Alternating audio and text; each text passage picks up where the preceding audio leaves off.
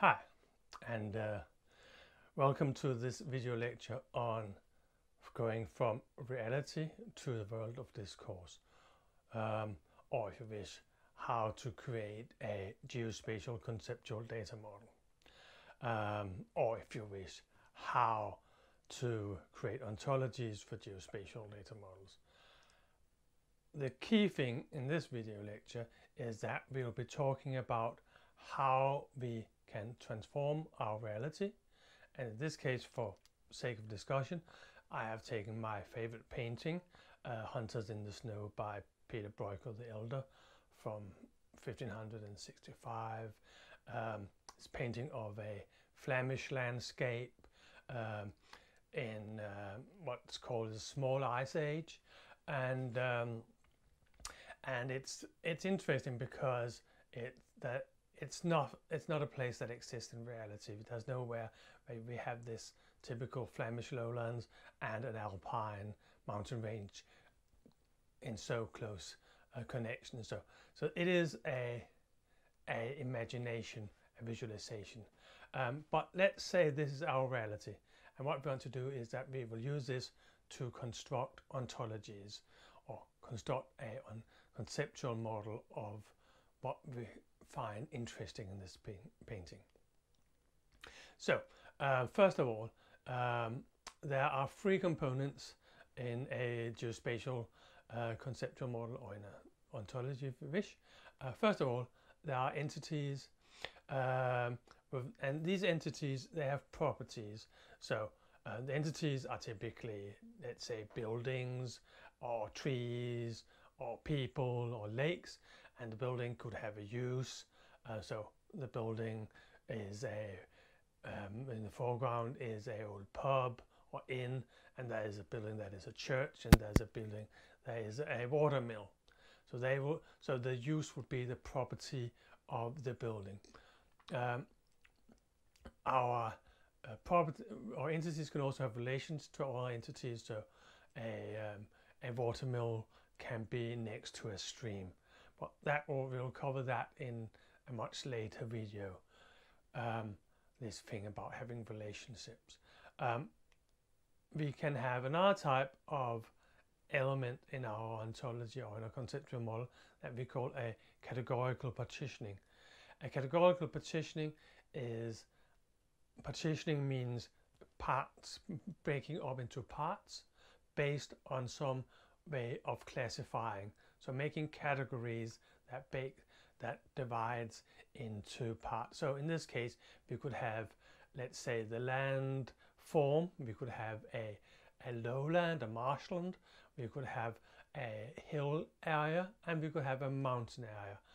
Um, and all of these could be based on classifying how the elevation is, or we could just have a high range mountain and a low uh, land again simply based on classifying the elevation data.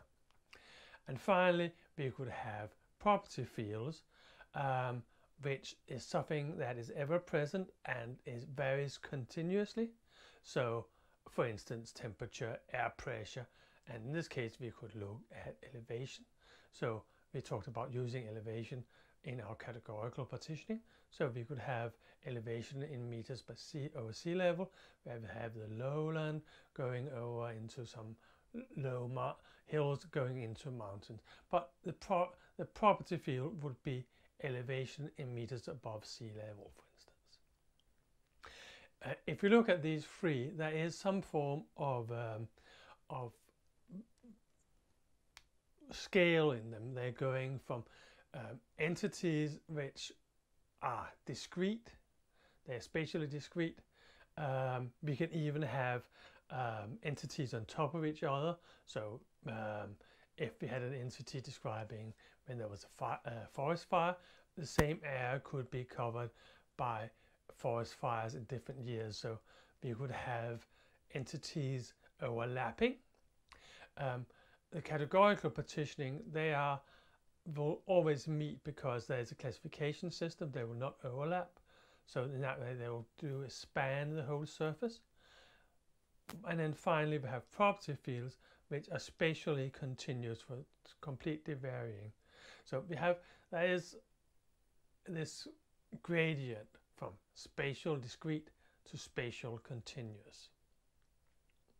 Okay, if we now look more closely at um, sorry the look at the uh, entity type and see what what are they. So the entity type that is the buildings.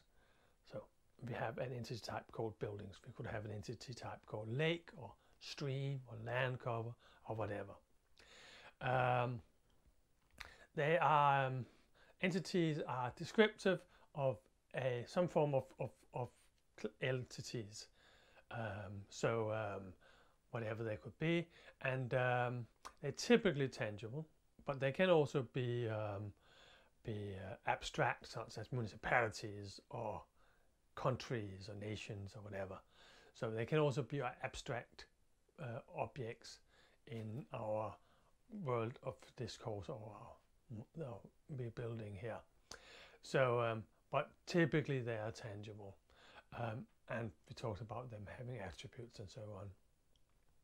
Um, they're typically, we will typically give our entity types a everyday language uh, name such as building, but there will typically be more uh, precise definitions. Um, for instance, if you have a row of in, in, in town with different buildings next to each other, when is it one building or when does it break into multiple buildings? Um, do we count um, cycle sheds as buildings?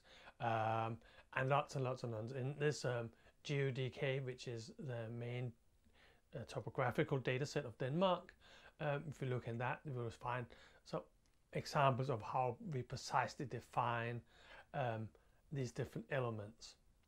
So different countries will have different data sets with this concept of having everyday night everyday language names, but with specific meanings.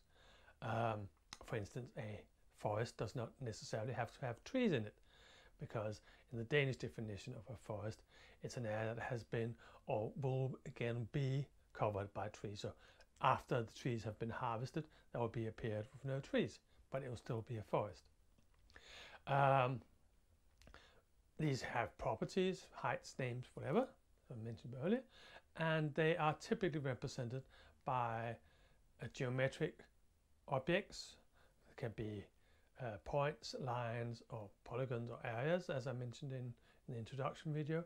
So, because we can have um, some of the Danish municipalities consist of many small islands, so they will have many small areas that together represent the entity of um, of that municipality. So polygons is and it, it, it, we normally talk about them polygons, but it's strictly mathematically it's not correct to talk about them as polygons, but areas. Um, but they can also be um, represented as 3D complex elements, so have buildings um, as a 3D model of that building. Categorical partitions are basically um, based on we have a series or one or more property fields that we classify. Okay, so we'll have some classification system.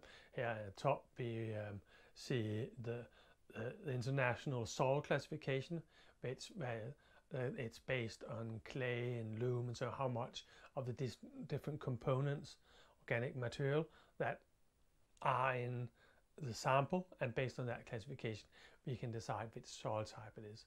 Or it can be as simple as classifying uh, water as fresh water, brackish water, or salt water based on the percentage of salt or the parts per million of salt in the solution.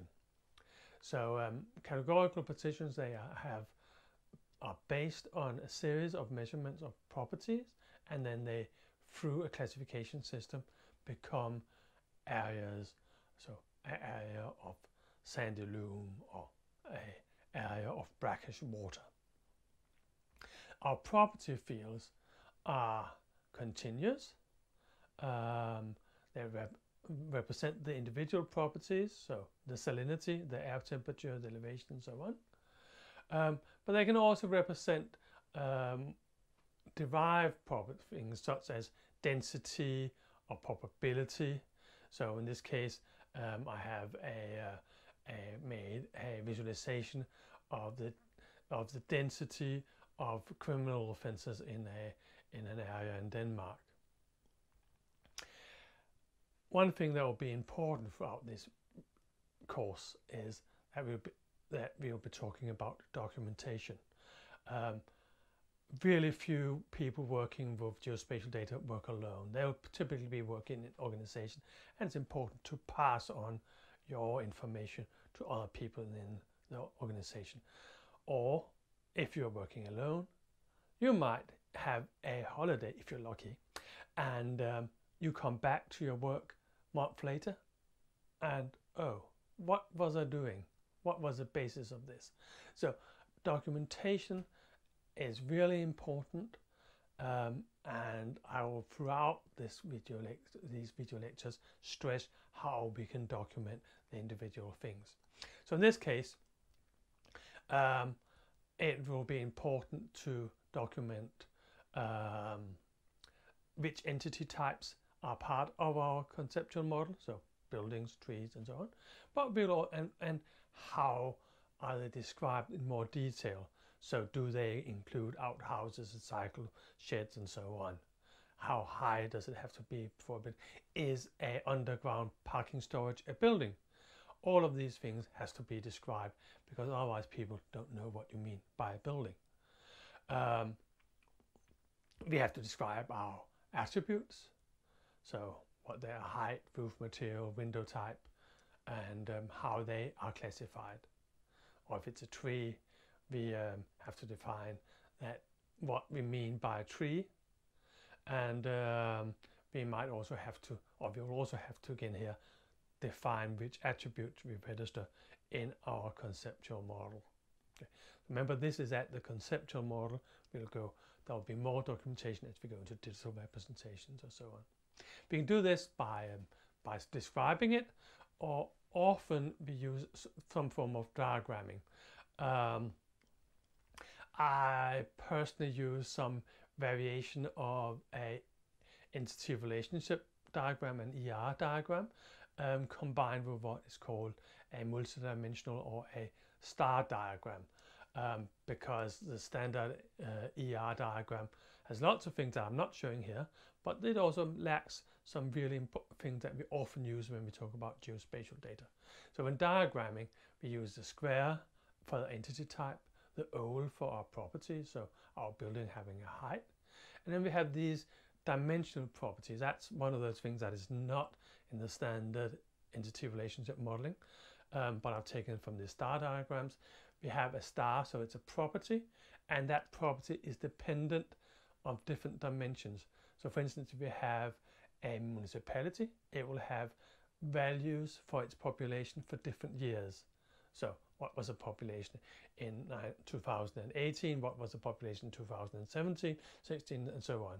So we represent this type of multidimensional attribute by a star where the dimension is a property of the star. Okay, so that's the dimensional property, something, a property that has different values based on another property, another dimension property. And finally, another thing that is not in the standard ER diagramming, namely the property field. The property field such as elevation, salinity and so on. Um, if you look at some examples of this, we could have a building as our entity type with a property describing the height of it and the roof material. So that would be the building as a square connected to two ovals representing the roof material and the height. Or if we look at this case I was talking about before with the municipalities, we will have a municipality as our entity type and each of these municipalities they have a dimensional property of property or population, sorry. So we have a dimensional property giving how many people live in that municipality, the population of the municipality for each year. So that the year is the dimension of that dimensional property population. in addition to these things, eh, we will have to specify some more elements in um, in the geographical aspect of it. Um, I want in time if, if we have geospatial data because one important thing is also specifying which position we need. Okay, um, so are the buildings precise within one meter or 10 meters or five meters or are dates precise within plus minus five days or 10 days or whatever. So we'll have to look at specifying a position of our attributes. So we'll also do that in our documentation. So this is what we'll call a desired position. Um, and we'll also, there's another special thing which we'll call resolution, is how precise are we going to be. We're not going to register everything in the world. So um, we say how small a building, you know, is, is it, and typically this is what we call a minimum mapping unit. So um, buildings less than 10 square meters, they are not registered. For instance, that's the example in the Danish uh, definition of a building, that buildings, if they are less than 10 square meters, they are not registered. Um, so we have, in addition to specifying which entities and which properties they have, we also specify the resolution and the position of our properties. So resolution is specific for those that are dimensions, so time and space, but position will have basically any of our attributes. We'll have to specify a desired position. So if we try and sum this up with some um, some examples, um, we'll look at some different uh, examples. Here we had our building could have a use, so we have our inn. We'll have a house for worshipping. We'll have a house for grinding corn uh, in a watermill. Um, so they will have the geometry polygon and they'll have a use. Our trees will have the geometry a point and they might have a property specifying the species and the height of the tree. We could have a property field um, specifying elevation and from that we could derive a categorical partitioning say mountains so if the elevation is more than in England it's uh, 300 feet then they call it a mountain um, so that will be a classification of elevation going into um, in, in, in, into uh, uh, sorry in, into a categorical partitioning. Finally, we have, um, as an example, a road that could have um, a paving which material is on the road, and that would be of the geometry type um, line.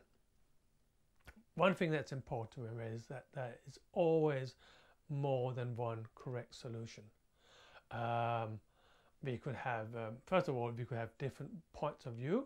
So um, we could look at these water bodies um, as lakes so we could have polygon representation of lakes, or if we were interested in uh, recreational uh, activities, we could classify, we could have a entity type called skating area, where we could represent our, um, our again our water bodies as skating areas. It's also always a dilemma whether or not to represent this have um, single elements such as lakes or should we look at a more broader concept such as land use.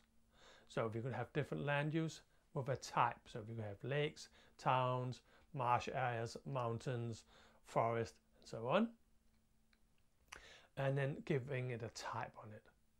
In general, um, we would say that um, that if we have the same properties for all of our entity types, that it would be reasonable to aggregate them to a higher level. So if we about all of our land use types register the same properties, um, then it's fine to aggregate um, as long as it gives sense, makes sense. So we don't aggregate things into a thing. that seldom makes sense.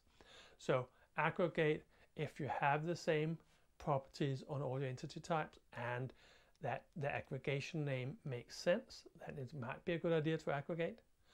Um, so if we looked at recreational, we could have a type of recreation, skating, skiing, hunting, whatever, as recreation. It was not recreational in in um, in this period. Um, the only thing they they caught was a got from the hunting was a fox. Doesn't taste nice, um, but so. But if they had different things, so we wanted to have a recreational area, and if it was the skating area, we wanted to say uh, which uh, how many people there were. But if it was a ski hunting area, we do not want to register how many people are there. So we had we don't have the, same property in both situations. Then we will not aggregate to the general class. We will stay at the individual types of the entity class. So aggregating or non-aggregating, it's something that is always a trick and it's something that comes through practice.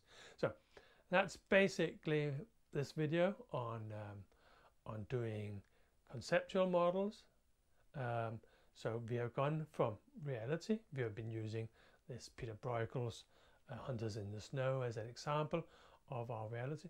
And then we have been talking about creating different ontologies or and these ontologies then define our conceptual model of our world of discourse. So we know that our reality contains much more than what we need. Um, but whenever we do a model of something, we close our eyes for different details we are not interested in. Um, the important is to only have the details of importance and leave the rest out. So hope you like the video. See you in another video. Bye.